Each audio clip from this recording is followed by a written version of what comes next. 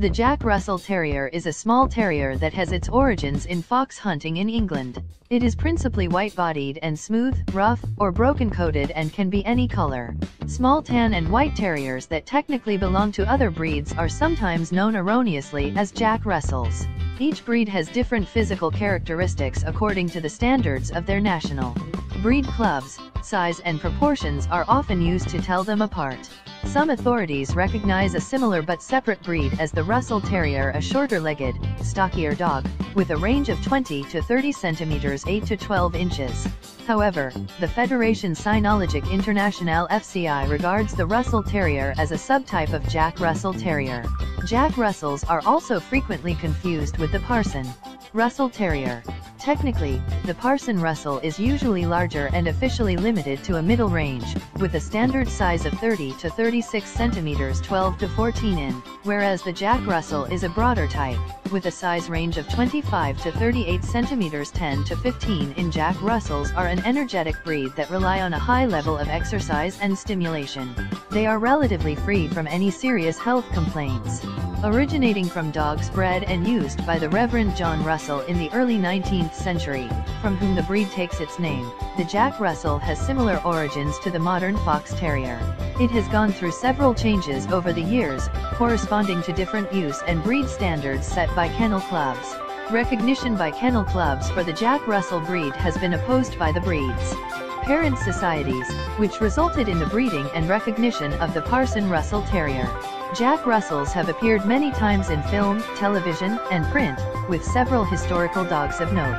The small white fox working terriers we know today were first bred by the Reverend John Russell, a parson and hunting enthusiast born in 1795, and they can trace their origin to the now extinct English White Terrier.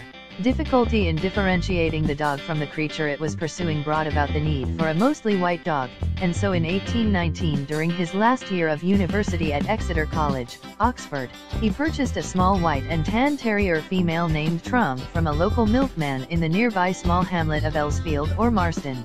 Trump epitomized his ideal fox terrier, which, at the time, was a term used for any terrier which was used to bolt foxes out of their burrows.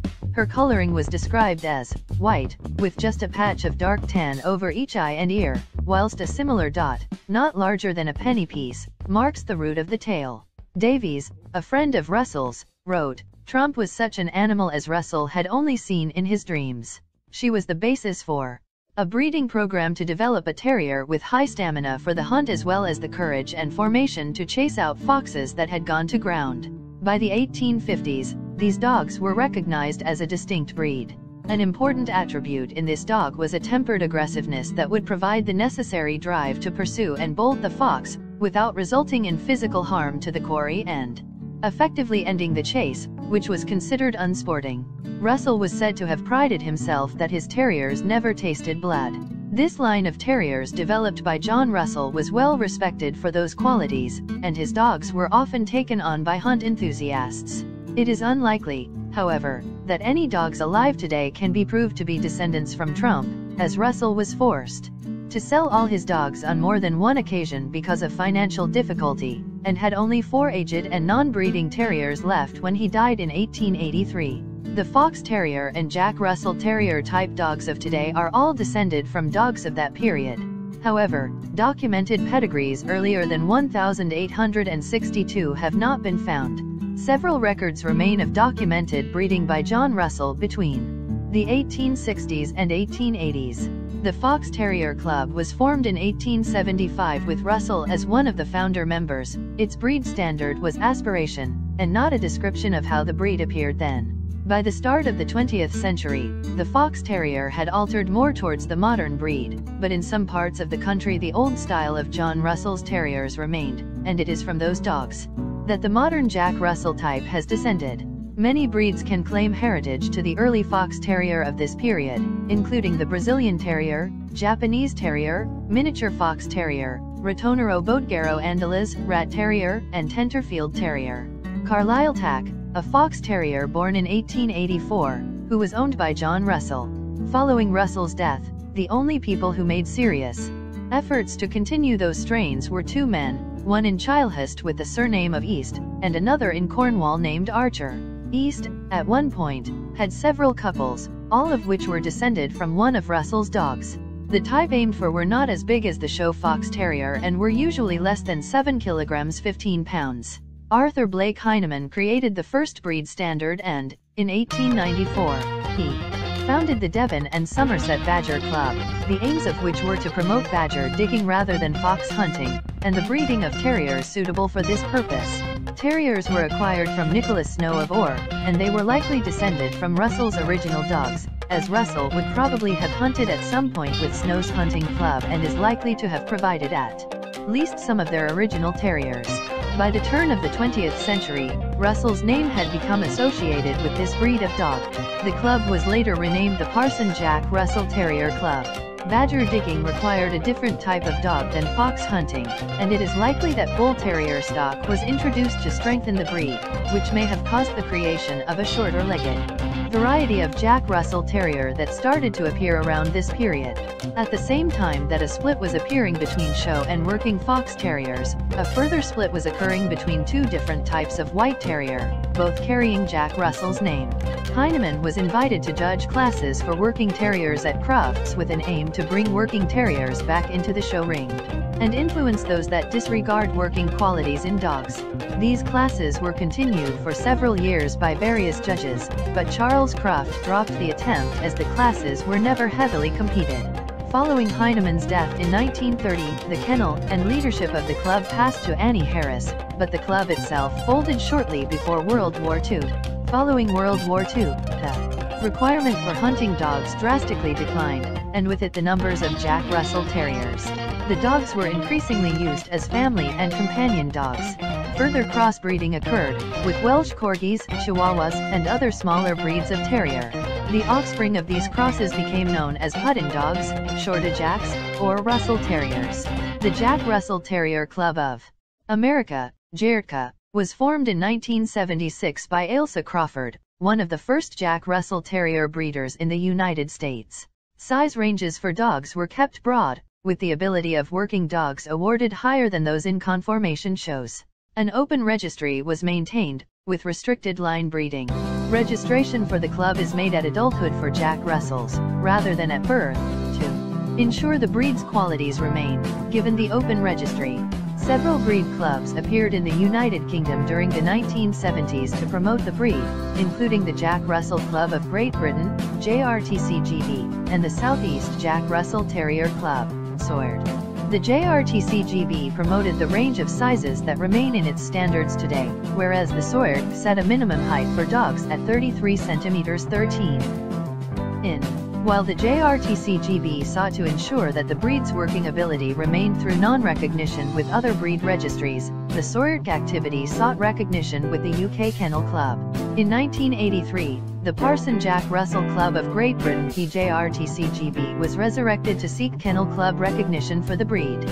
Although the application was initially rejected, a new standard was created for the PJRTCGB based on the standard of the SOIRD, and under that standard the breed was recognized by the Kennel Club in 1990 as the Parson Jack Russell Terrier. Jack was dropped from the official name in 1999, and the recognized name of the breed became the Parson Russell Terrier. In the late 1990s, the American Kennel Club explored the possibility of recognizing the Jack Russell Terrier. This move was opposed by the Jack Russell Terrier Club of America as they did not want the breed to lose its essential working characteristics. The Jack Russell Terrier Breeders Association formed and petitioned the AKC. The breed's admission was granted in 2001. Under the AKC recognized standard, the size of the breed was narrowed from the previous club's standard, and the name of the AKC recognized. Jack Russell Terrier was changed to Parson Russell Terrier, with the Jack Russell Terrier Breeders Association renamed to the Parson Russell Terrier Association of America. The Australian National Kennel Council ANKC and the New Zealand Kennel Club NZCK are some of national kennel associations that register both the Jack Russell Terrier and the Parson Russell Terrier. However, the size requirements for the Jack Russell Terrier under both those standards would classify a dog as a Russell Terrier in the United States. In 2009, there were 1,073 Jack Russells registered with the ANKC, compared to 18 for the Parson Russell Terrier. Other modern breeds are often mistaken for modern Jack Russell Terriers, including their cousin the Parson Russell Terrier, the Tenterfield Terrier, and the Rat Terrier. Several other modern breeds exist that descended from the early Fox Terrier breed, including the Brazilian Terrier, Japanese Terrier, Miniature Fox Terrier, Ratonero Bodeguero Andaluz, Rat Terrier, and Tenterfield Terrier. Due to their working nature, Jack Russell Terriers remain much as they were some 200 years ago. They are sturdy, tough, and tenacious, measuring between 25 to 38 centimeters 10 to 15 in at the withers, and weigh 6 to 8 kilograms 14 to 18 pounds. The body length must be in proportion to the height, and the dog should present a compact, balanced image. Predominantly white in coloration more than 51% with black and slash or brown and slash or tan markings, they exhibit either a smooth, rough, or a combination of both which is known as a broken coat. A broken-coated dog may have longer hair on the tail or face than that which is seen on a smooth-coated dog. The skin can sometimes show a pattern of small black or brown spots, referred to as ticking that do not carry through to the outer coat. All coat types should be dense double coats that are neither silky in the case of smooth coats nor woolly in the case of rough coats. The head should be of moderate width at the ears, narrowing to the eyes, and slightly flat between the ears. There should be a defined but not overpronounced stop at the end of the muzzle where it meets the head, and a black nose. The jaw should be powerful and well boned with a scissor bite and straight teeth. The eyes are almond-shaped and dark-colored and should be full of life and intelligence. Small V-shaped ears of moderate thickness are carried forward on the head. When the dog is alert, the tip of the V should not extend past the outer corner of the eyes. The tail is set high and in the past was docked to approximately 10 centimeters 5 in in order to provide a sufficient handhold for gripping the terrier. The Jack Russell should always appear balanced and alert. As it is primarily a working terrier, its most important physical characteristic is its chest size, which must not be so large that it prevents the dog from entering and working in burrows. The red fox is the traditional quarry of the Jack Russell Terrier, so the working Jack Russell must be small enough to pursue it. Red foxes vary in size, but across the world, they average from 6 to 8 kilograms 13 to 17 pounds in weight and have an average chest size of 30 to 36 centimeters 12 to 14 in at the widest part. The Parson Russell Terrier pictured shares a common ancestry with the Jack Russell Terrier. The Jack Russell Terrier and Parson Russell Terrier breeds are similar, sharing a common origin, but have several marked differences the most notable being the range of acceptable heights. Other differences in the Parson Russell can include a longer head and larger chest as well as overall a larger body size. The height of a Parson Russell at the withers according to the breed standard is 30 to 36 centimeters 12 to 14 in which places it within the range of the Jack Russell Terrier Club of America's standard size for a Jack Russell of 25 to 38 centimeters 10 to 15 inches. However, the Parson Russell is a conformation show standard whereas the Jack Russell standard is a more general working standard. The Russell Terrier, which is also sometimes called the English Jack Russell Terrier or the Short Jack Russell Terrier is a generally smaller related breed. Both the breed standards of the American Russell Terrier Club and the English Jack Russell Terrier Club Alliance states that at the withers it should be an ideal height of 20 to 30 centimeters 8 to 12 inches. Although sometimes called the English or Irish Jack Russell. Terrier, this is not the recognized height of Jack Russells in the United Kingdom. According to the Jack Russell Club of Great Britain's breed standard, it is the same size as the standard for Jack Russells in the United States, 25 to 38 centimeters 10 to 15 inches. Compared to the Parson Russell Terrier, the Russell Terrier should always be longer than tall at the withers, whereas the Parson Russell's points should be of equal distance. The Federation Cynologique Internationale standard for the Jack Russell Terrier has this smaller size listed as a requirement. Terrierman Eddie Chapman, who has hunted in Devon for more than 30 years, the same area that John Russell himself hunted, notes that, I can state categorically that if given the choice, 99% of hunt terrier men would buy in. Under 12 in 30 centimeters worker, if it was available, over a 14 in 36 centimeters one. Jack Russell Terriers have a high energy level. Jack Russells are first and foremost a working terrier. Originally bred to bolt foxes from their dens during hunts, they are used on numerous ground-dwelling quarry such as groundhog, badger, otter, and red and gray fox. The working JRT is required to locate quarry in the earth. and then either bolt it or hold it in place until they are dug to. To accomplish this, the dog will not bark but will expect attention to the quarry continuously. Because the preservation of this working ability is of highest importance to most registered JRTCA slash JRTCGB breeders, Jack Russells tend to be extremely intelligent, athletic, fearless, and vocal dogs. It is not uncommon for these dogs to become moody or destructive if not properly stimulated and exercised, as they have a tendency to bore easily and will often create their own fun when left alone to entertain themselves. Their high energy and drive make these dogs ideally suited to a number of different dog sports such as flyball or agility. Obedience classes are also recommended to potential owners, as Jack Russells can be stubborn at times and aggressive towards other animals and humans if not properly socialized. Despite their small size, these dogs are not recommended for the condominium or apartment dweller unless the owner is ready to take on the daunting task of providing the dog with the necessary amount of exercise and stimulation. They have a tremendous amount of energy for their size, a fact which can sometimes lead to trouble involving larger animals. They may seem never to tire and will still be energetic after their owner has called it a day. While socialized members of the breed are friendly towards children, they will not tolerate abuse even if it is unintentional. The breed has a reputation for being healthy with a long lifespan. Breeders have protected the gene pool, and direct inline breeding has been prevented. Jack Russells can live from 13 to 16 years given proper care. However, certain lines have been noted for having specific health concerns and, therefore, could occur in any line or generation because of recessive genes. These issues can include hereditary cataracts, ectopia lentis, congenital deafness, patellar luxation, ataxia, myasthenia gravis, Legg, Calvé, Perthes syndrome, and von Willebrand disease. Being a hunt-driven dog, the Jack Russell will usually pursue most creatures that it encounters. This includes the skunk, and the breed is prone to skunk toxic shock syndrome. The chemical in the skunk spray is absorbed by the dog and causes the red blood cells to undergo hemolysis, which can occasionally lead to fatal anemia and kidney failure. If sprayed underground, it can also cause chemical burning of the cornea. Treatments are available to flush the toxin out of the dog's system. Lens luxation, also known as ectopia lentis is the most common hereditary disorder in Jack Russell Terriers. Even so, this condition is not a common occurrence in the breed. Most frequently appearing in dogs between the ages of 3 and 8 years old, it is where the lens in one or both eyes becomes displaced.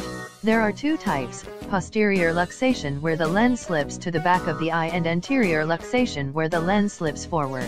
Posterior luxation is the less severe of the two types, as the eye can appear normal although the dog's eyesight will be affected. In anterior luxation, the lens can slip forward and rub against the cornea, damaging it. Anterior luxation also has a high probability of causing glaucoma which can lead to partial or complete blindness. Treatment is available and may include both medical and surgical options. Secondary lens luxation is caused by trauma to the eye and is not hereditary. The condition appears in a number of terrier breeds as well as the Border Collie, Brittany, and Cardigan Welsh Corgi. Cataracts can affect any breed of dog and is the same condition as seen in humans. Here the lens of the eye hardens and is characterized by cloudiness in the eye. Cataracts will blur the dog's vision and can lead to permanent blindness if left untreated. While considered mainly a hereditary disease, it can also be caused by diabetes, old age, radiation, eye injury, or exposure to high temperatures. Patellar luxation, also known as luxating patella, is a hereditary disorder affecting the knees. It is where the kneecap slips off the groove on which it normally sits. The effects can be temporary with the dog running while holding its hind leg in the air before running on it again once the kneecap slipped back into place as if nothing has happened. Dogs can have a problem with both rear knees, and complications can include arthritis or torn knee ligaments. Severe cases can require surgery. Some are prone to dislocation of the kneecaps, inherited eye diseases, deafness, and Legg Perthes a disease of the hip joints of small dog breeds. Prone to mast cell tumors.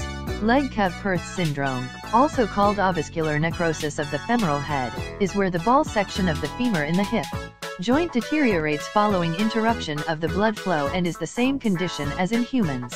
In dogs, this causes lameness of the hind legs, the thigh muscles to atrophy and pain in the joint. It usually occurs between 6 to 12 months of age and has been documented in a variety of other terrier breeds including the Border Terrier, Lakeland Terrier, and Wheaten Terrier. His Master's Voice 1898 by Francis Barraud Nipper was a dog born in 1884 who was thought to be a dog of the Jack Russell Terrier type. He was the inspiration for the painting dog looking at and listening to a phonograph, later renamed to his master's voice. The painting was used by a variety of music-related companies including the Gramophone Company, EMI, the Victor Talking Machine Company, and RCA. Today it remains in use incorporated into the logo for HMV in the UK and Europe. A Jack Russell named Baudouin made history in 1982 as part of the Transglobe expedition. Owned by explorers Ranulph and Ginny Fiennes, he became the first dog to travel to both the North and South Poles. This feat is unlikely to be repeated, as all dogs have been banned from Antarctica by the Antarctic Treaty. Nations since 1994, due to fears that they could transmit diseases to the native seal population. Ranulph Fiennes and Charles Burton actually made the trip to the North Pole by powered sledges before signaling to the base camp that they had arrived. To celebrate their achievement, a plane was sent out to take the two men champagne, along with Baudouin. On April 29, 2007, a Jack Russell named George saved five children at a carnival in New Zealand from an attack by two pit bulls. He was reported to have charged at them and held them at bay long enough for the children to get away. Killed by the pit bulls, he was posthumously awarded the PDSA Gold Medal in 2009, the animal equivalent of the George Cross. A statue has been erected in Manaia, New Zealand, in his memory. A former U.S. Marine also donated to George's owner a Purple Heart Award he had received for service in Vietnam. In 2019, Boris Johnson and his partner Carrie Symonds took a Jack Russell cross from an animal rescue charity in Wales. The dog's name is Dylan and he became a famous dog at a polling station in the general election.